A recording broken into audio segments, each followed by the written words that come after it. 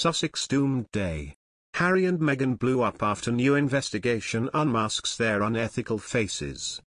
The hippie Wall Street investment firm backed by Prince Harry and Meghan Markle owns tens of millions of dollars of shares in Twitter, Facebook and YouTube's owner Google despite the couple decrying the hate they have encountered online and their personal crusade against fake news.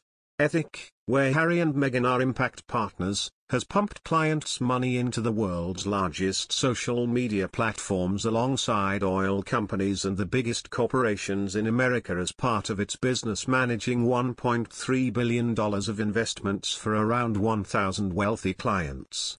The New York-based business exists as part of a growing trend in the financial world for ethical investments that are marketed to provide clients with a clear conscience and social media-friendly talking point, as well as a healthy return on their stake.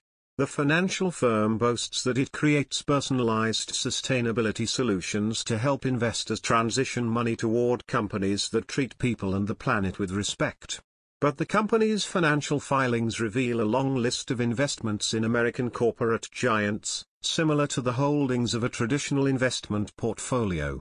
These reveal that the $1.3 billion fund has $6.9 million in Facebook shares, a $2 million investment in Twitter and $32 million stake in Alphabet, the parent company of Google and YouTube.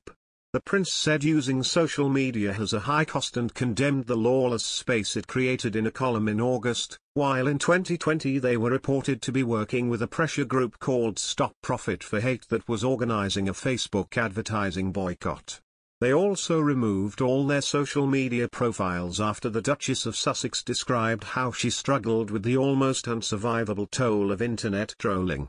Ethic's filings with the U.S. Securities and Exchange Commission shows that it manages stock worth up to $45 million in Apple and millions of dollars more in corporates including Microsoft, Amazon, Coca-Cola, Visa, Nike, and Tesla.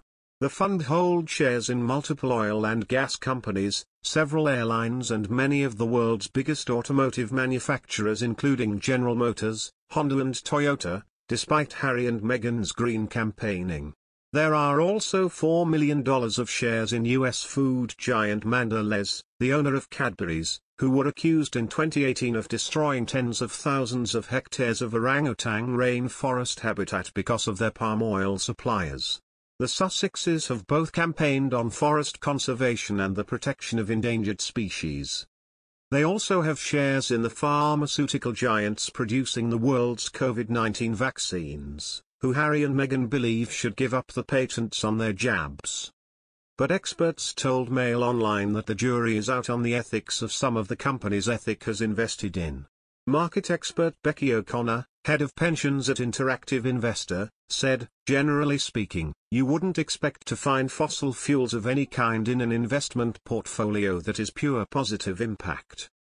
She added that some so-called ethical funds sometimes invest in controversial companies that promise to go green, as activist shareholders, but there are questions about whether it is leading to change fast enough, Ms. O'Connor said. Harry and Meghan are investing their own money in Ethic, and are also reportedly shareholders, despite both of them previously criticizing social media firms the investment firm has bought shares in. The couple have not said how much cash they have personally put into Ethic to manage their portfolio, which the, the company tailors to each individual investor meaning that the Sussexes are unlikely to have shares in Facebook. It has also been revealed that the Ethic Fund, founded by a British Prince Harry lookalike former public school boy with two fellow hippies, has pumped cash into all the major pharmaceutical companies that develop COVID-19 jabs.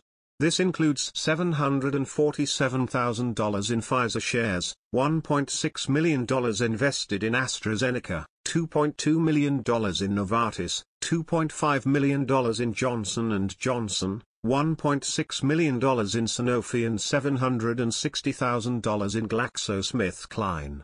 This is despite Harry slamming ultra-wealthy pharmaceutical companies for not sharing the recipes and urging them to give up patents to allow poorer countries to vaccinate their population in a series of critical comments made as recently as a fortnight ago.